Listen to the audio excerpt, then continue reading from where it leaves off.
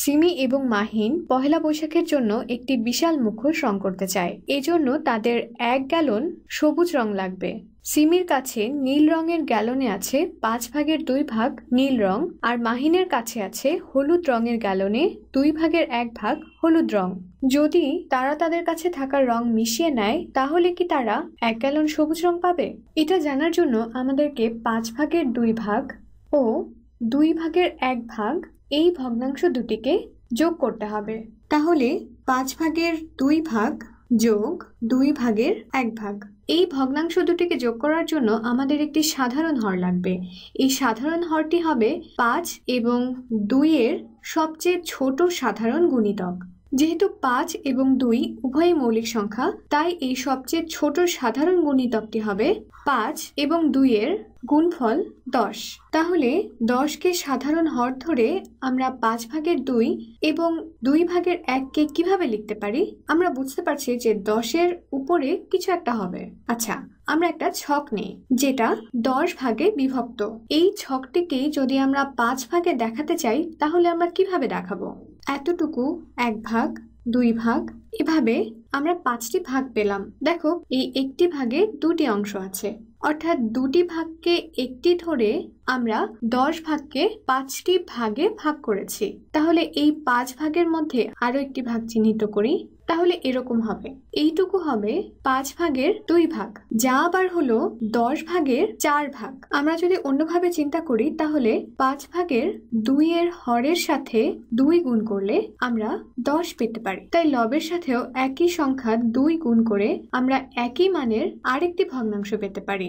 একই সংখ্যা দিয়ে লবকে গুণ করতে হবে, নয়তো ভগ্নাংশের মানের পরিবর্তন হয়ে যাবে। তাহলে এই দুইয়ের সাথে দুই গুণ করলে হবে চার। তাহলে এখান থেকে আমরা চার পেলাম। তাহলে এটা হলো দশ ভাগের চার। অর্থাৎ পাঁচ ভাগের দুই এবং দশ ভাগের চার একই মানের দুটি ভগ্নাংশ। এদেরকে সমতুল ভগ্নাংশ বলা হয়। তো যাই হোক, আমরা এবার দুই ভাগের এক ভাগের ক্ষেত্রে চিন্তা করি। এখানেও আমরা দশ ভাগে বিভক্ত এমন একটি ছক নিয়েছি। এই দশ ভাগকে আমরা দুই ভাগে কীভাবে নিতে পারি?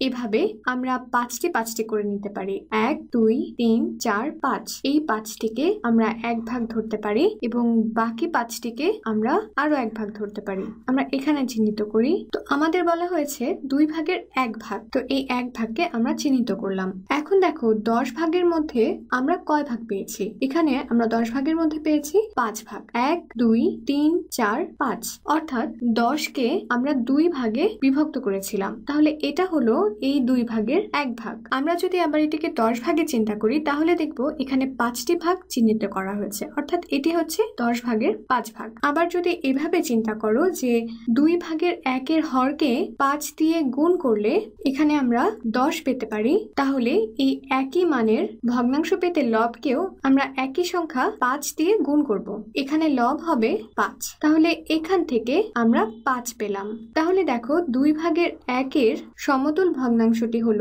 দশ ভাগের পাঁচ। এখন তাহলে দশ ভাগের চার এবং দশ ভাগের পাঁচ, এই দুটি ভগ্নাংশে আমরা সাধারণ হর দশ পেয়েছি। এই ভগ্নাংশ দুটিকে আমরা আলাদাভাবে এখানে লিখি দশ ভাগের চার যোগ দশ ভাগের পাঁচ। এখন আমরা সাধারণ হর দশ পেয়েছি। সাধারণ হর বিশিষ্ট ভগ্নাংশের যোগ আমরা সহজেই করতে পারব। আমরা শুধু লবগুলোকে যোগ করে দেব।